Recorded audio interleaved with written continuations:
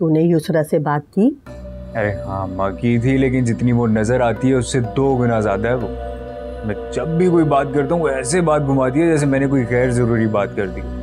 हम्म जितनी मासूम नज़र आती है इतनी है नहीं। बहुत गहरी लड़की है ये।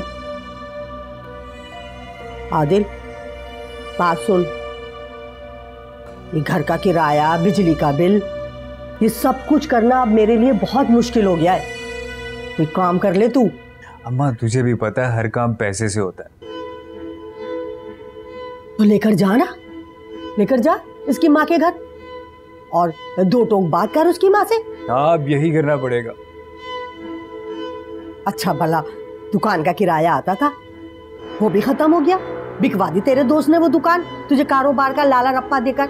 सारे पैसे हजम कर गया। अरे अम्मा तू वो क्यों नहीं भूल जाती?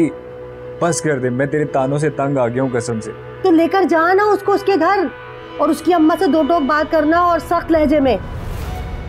कहीं तू वो भूता को देख के ना गूँगा बन के मत बैठा रहना। अरे अम्मा नहीं मैं मैं करूँगा। मैं उससे दो टोक बात करके आऊँगा बेफिक्र है अब जा बैठा हुआ क्यों है?